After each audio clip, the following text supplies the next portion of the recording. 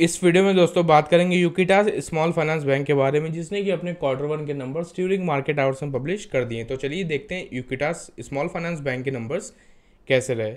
और अगर आपने अभी तक चैनल को सब्सक्राइब नहीं किया तो चैनल को ज़रूर सब्सक्राइब कर दें और नोटिफिकेशन बेल को भी प्रेस कर लें, क्योंकि रिज़ल्ट पब्लिश होते ही आपको सबसे पहले अपडेट इस चैनल पर देखने को मिलेगा। तो बी के अगर आउटकम की बात करें तो कंपनी ने सिर्फ़ और सिर्फ़ अपने क्वार्टरली नंबर्स को लेकर अनाउंसमेंट करी with limited review reports second pointer की बात करें तो raising of capital through issuance of redeemable unsecured NCD उसके बाद taking note on the resignation of mister N Srinivasan as an independent director of the company उसके बाद amendment एक देखने को मिल रहा है। तो टोटल हमें ये चार चीज़ें आज के दिन देखने को मिली हैं। तो चलिए देखते हैं यूकिटास स्मॉल फाइनेंस बैंक के नंबर्स कैसे रहे। तो डिटेल्स आपके सामने और सारे फिगर लैक में इन करोड़ में हम लोग डिस्कस करेंगे। क्यू वन की अर्निंग से फोर की अर्निंग से then last year quarter one का डेटा आपको थर्ड रो में देखने को मिलेगा। पहले बात करते हैं बैंक की मेन इनकम की, जो कि होती इंटरेस्ट अर्न यानी कितना इंटरेस्ट कमा रही है बैंक जो कि अगर आप देखेंगे तो लास्ट ईयर क्वार्टर वन में जो बैंक की इंटरेस्ट इनकम थी, वो twelve hundred fifty three crore की थी। वो इस बार फिफ्टीन हंड्रेड पे आ गई क्वार्टरली फोर्टीन से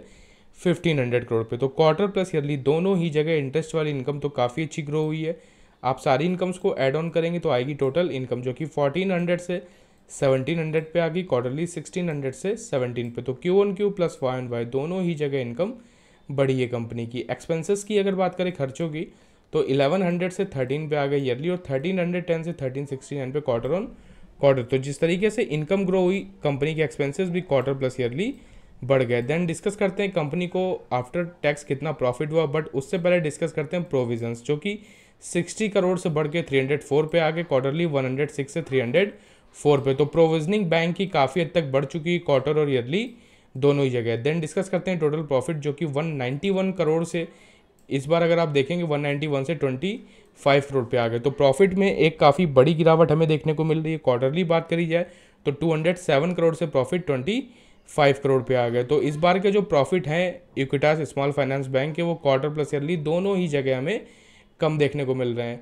तो सेम बिल्कुल जो रिएक्शन है, वो भी हमें मार्केट आवर्स के अंदर ही देखने को मिल रहा है। तो आफ्टर इफेक्ट्स भी हमें देखने को ऑलरेडी मिल चुके हैं। और मार्केट एस्टिमेट की बात करें मार्केट का जो अनुमान था, वो काफ़ी ज़्यादा था, एक सौ छियासी करोड़ का, जिसकी वजह से आपको प्रॉफिट इस पर काफ़ी ज़्यादा कम देखने को मिल रहा है। तो मार्केट एस्टिमेट को प्रॉफिट बीट नहीं कर पाए।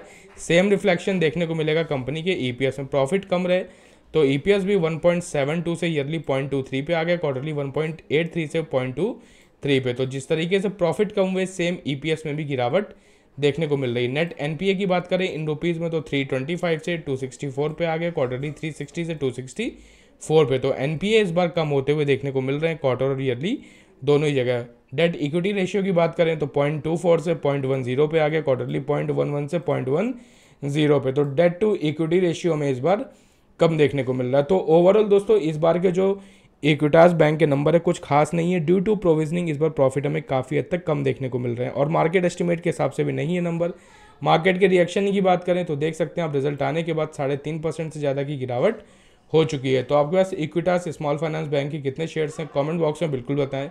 तो मिलते हैं किसी और वीडियो में, किसी और अपडेट के साथ, तब तक के लिए बाय